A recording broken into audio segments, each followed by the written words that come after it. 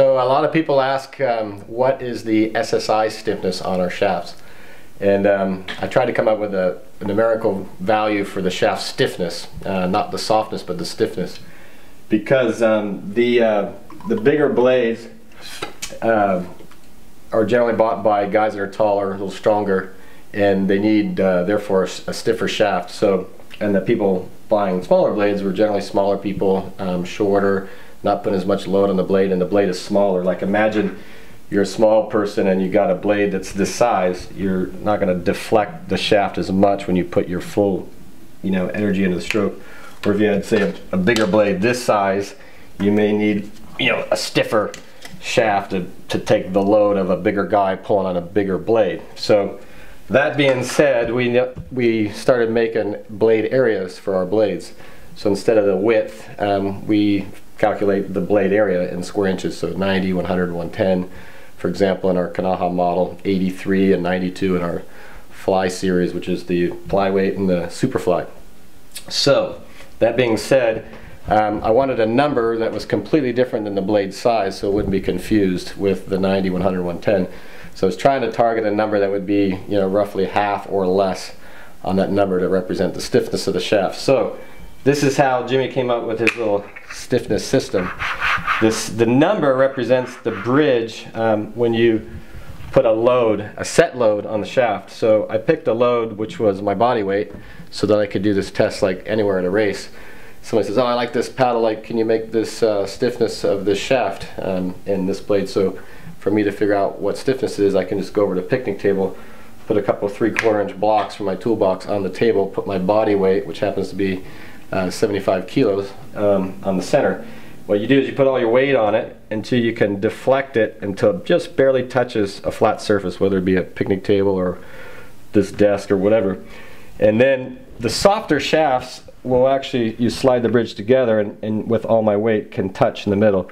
Where a stiffer shaft, you have to slide it all the way out here, for example this one, to get it to barely touch the table. So the stiffer the shaft, the bigger the bridge. The softer, like our fiberglass shafts, you can slide that bridge in about 30 inches, put all my body weight on there, and it will just barely touch the surface. So imagine you, you had a softer one, you put on there and it bends and touches the table, and so on. Um, that being said, um, comes another thing. You know, people wonder, you know, how do our, our shafts break, um, or how would a shaft break? We don't get many shaft failures, but when we do, most likely what happens is there's an impact of some type. Um, we do all of our testing in-house um, on all of our shafts and um, most all of them will take well over 300 to 400 pounds when we do a um, our um, failure test, um, which is you know at about a 40 inch bridge, you know three to 400 pounds. or more are required to break the shaft. So most people are never going to pull that hard on the pedal shaft. So the way they break is carbon fiber um, is super strong, super stiff.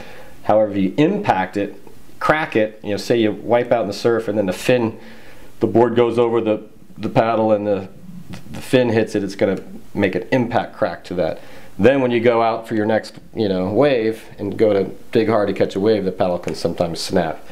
And um, and they'll sometimes snap up high, sometimes down low. Depends on where the impact was. Um, some of the damage I think happens in transit because uh, when people call and they break their paddle, if we talk them through it, a lot of times they'll, oh, I just got to Hawaii, it was my first day out and I was really bummed, or I flew to Fiji and you know it was the first day, I don't know what happened. Most likely the airlines um, did something, I don't know if you've seen how they handle bags, but uh, it can be pretty brutal. so, um, so anyway, what will happen is uh, you'll have an impact uh, structural um, uh, compromise the integrity of the of the structure to where you'll get a um, when you load a round tube, the cross sections want to ovalize when put under a load because one side's on compression, one side's on tension. Just like an I-beam, it puts a load in the middle and the, the cross sections want to ovalize. So some material is required to keep it in what I call hoop strength or some tube manufacturers will call that hoop strength. And if that's compromised, the shaft can buckle and collapse like this straw will if I overload it.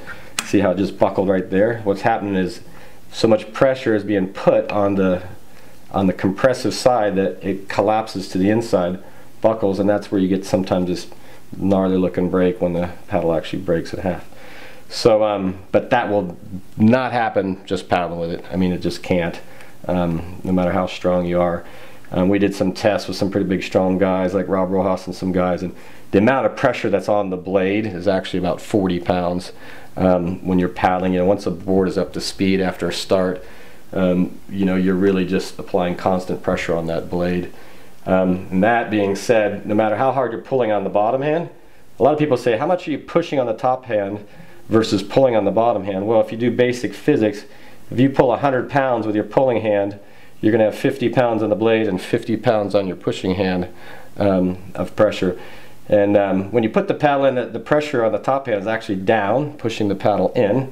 And once the blade is buried to its full depth, the pressure on the handle is just sort of holding it there while you pull from the bottom as you're going past the paddle blade. So there's much more pressure on the pull than there ever is, you know, pushing. And I don't like to think of pushing with the top hand. You want to think more of holding. So in the beginning of the stroke, you're pushing down to set it in, and at that point, you're holding pressure there as you're basically pulling with the bottom hand.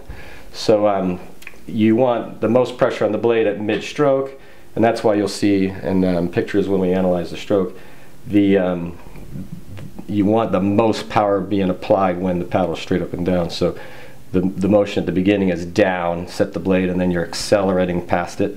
And then while you're trying to get your body mass going forward is when you exit and try and keep the board running in between strokes.